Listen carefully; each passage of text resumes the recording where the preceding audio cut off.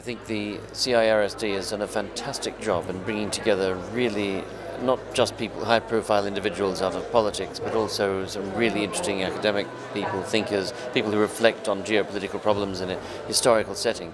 And what has resulted has been an extremely rich conversation, which has brought to light a lot of the parallels and links between 1914 and 2014.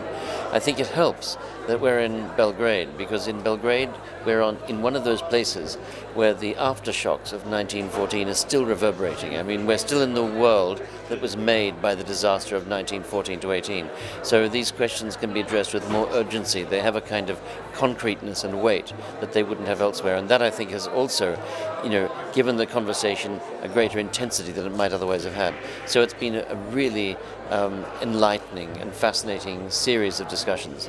We had a wonderful panel yesterday morning about 1914, the meaning of 1914 now. There's something paradoxical and strange about 1914. It's, it's now 100 years ago, and yet it seems fresher than ever. Why is that? It's because we're in a world which, in many ways, resembles the world of 1914 more than the era of the Cold War did. It's multipolar, it's unpredictable, it's opaque, it's characterized by low levels of trust. And, you know, the, the, the, the, the disaster of 1914 speaks to us more urgently than it perhaps has at any other time in our history ever since. So I think that you know these questions are very much alive, and conferences like this are very important for um, addressing the, uh, the, the, the, questions about what risks need to be avoided in the contemporary setting.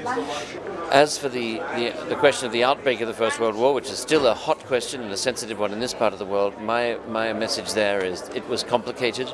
Um, Europe was a dangerous place, occupied by or populated by great powers which were all behaving in a more or less similar way, rather ruthless, all of them pursuing their own interests, all of them quite happy to take on the risk of a great war in pursuit of their own objectives. And what we need to do is to move away from the idea that war is a suitable or rational uh, way of resolving human conflict and come instead to an, to an acceptance of the view, recently articulated incidentally by Pope Franciscus, that war is the greatest, the greatest failure of humankind. Thank you very much.